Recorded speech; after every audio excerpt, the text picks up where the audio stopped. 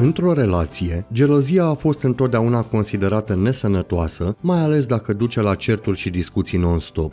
De fapt, gelozia este principalul motiv pentru care multe căsnicii sfârșesc în divorțuri. Un partener gelos este enervant, jenant și foarte frustrant. Gelozia poate fi cauzată de nesiguranța într-o relație, provocată în continuare de liniile de comunicare și de ascunzișuri. Dacă vă aflați într-o relație în care gelozia este o problemă, atunci trebuie să știți că există modalități eficiente de a o combate. Primul pas pentru a controla gelozia este să comunici cu partenerul tău ce simți. Trebuie să vă faceți partenerul să vadă și să înțeleagă că nu există motive pentru a fi gelos.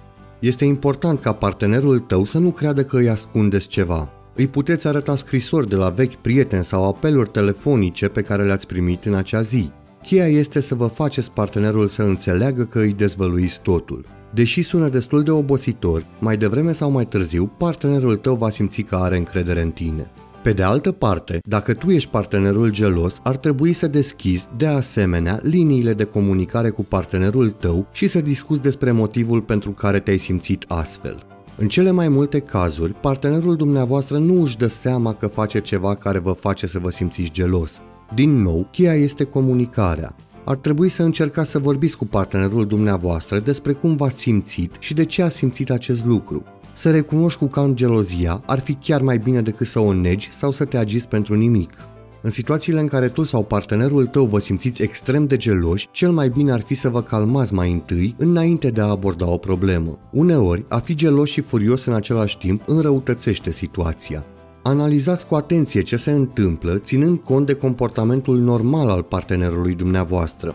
Gelozia este deseori declanșată de schimbări de atitudine și de dispoziție ale partenerului, alimentate de suspiciuni.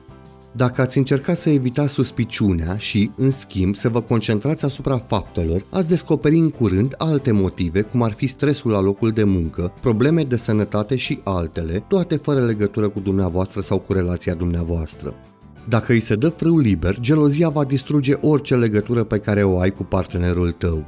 Acesta este motivul pentru care este foarte important ca tu și partenerul tău să o rezolvați încă de la începutul relației. Dacă este ignorată, vă poate cauza mai multe probleme și suferințe în viitor. Tu și partenerul tău ar trebui să acționați acum sau vă veți pierde complet unul pe celălalt în acest proces.